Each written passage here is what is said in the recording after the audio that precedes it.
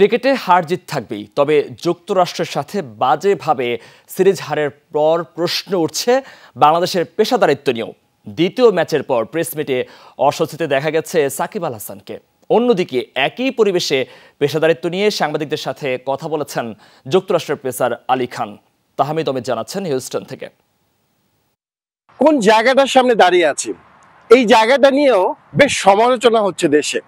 যে যুক্তরাষ্ট্র ক্রিকেট বোর্ডের ম্যাচ শেষে যে পোস্ট ম্যাচ হয়, ম্যাচ শেষে যে কথা বলেন যেখানে কালকে সাকিব আল হাসান কথা বলেছেন, সেই জায়গায় অনেকে বলেছেন এত রোদ, একটা রোদের মধ্যে জায়গায়, একটা শেড নেই, কথা বলা যায় না, পরিস্থিতি নেই, আমি সেই জায়গাটা দাঁড়িয়ে আছি। একটু দর্শক, আলোচনাটা যাওয়ার আগে আপনাদেরকে একটা জিনিস দেখাতে চাই। কালকের যে প্রেস কনফারেন্স হয়েছিল, এখানে যুক্তরাষ্ট্রের পক্ষ থেকে আলী খান এসেছিল বাংলাদেশের পক্ষ থেকে সাকিব আল হাসান এসেছিলেন। আমরা একটু দেখানোর চেষ্টা করি। এদিকে আলী খানকে যদি দেখেন এই একই জায়গায় রোদের মধ্যে তিনি এই বসে প্রেস মিট করেছেন, কিন্তু ক্যাপটা ঠিকভাবে পরেছিলেন তার বসা, তার অ্যাটিটিউড সবকিছু লক্ষ্য করেন। ঠিক একজন পেশাদার মানুষের মতো। সাকিব আল হাসান দীর্ঘদিনের ক্রিকেট ক্যারিয়ার সতেরো বছরের বেশি সময় তিনি ইন্টারন্যাশনাল ক্রিকেটটা খেলছেন। তিনি জানেন, তিনি একই জায়গায় বসছেন।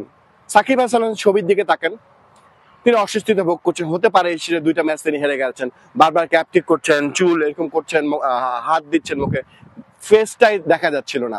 সেই যে ছবিটা আপনি সাকিবের দেখছেন, সেখান থেকে আপনাদের অনেকের ধারণা হয়েছে যে এখানে প্রচণ্ড রোদ, এখানে আসলে বসার জায়গায় নেই। একই স্থানে যদি আলী খান এরকম একটি প্রেস কনফারেন্স করতে পারেন, তাহলে বাংলাদেশে কেউ কেউ কেন পারে না। এই যে মানে ধারণা তৈরি হয়েছে এই যে আহ, সবকিছুর সাথে অ্যাডজাস্ট করে নেওয়া যুক্তরাষ্ট্রের নাগরিক কিন্তু আলী খান। এরকম পরিস্থিতির সাথে তারা এরকম পরিবেশের সাথে তারা খেলেন। আমরা তো বাংলাদেশ থেকে এসছি। সেখানে এরকম প্রেস কনফারেন্স জায়গায় অনেক বেশি সমালোচনা হয়েছে। এটা খুব সুন্দর জায়গা আমি বলব। এখানে ম্যাচ শেষে প্রেজেন্টেশন পার্টি হয় তারপর একটা টেবিল দেওয়া হয় সেখানেই আলোচনা হয় কথা হয়। হ্যাঁ গণমাধ্যম কর্মী বাংলাদেশের মতো এত নেই, পুরো যুক্তরাষ্ট্র সিরিজ জিতে গেছে, একজনের মতো কাউকে আমি দেখেছি, একজন হয়তো দুজন হবে। এছাড়া খুব বেশি লোকজন ছিলেন না সেই জায়গাটায়।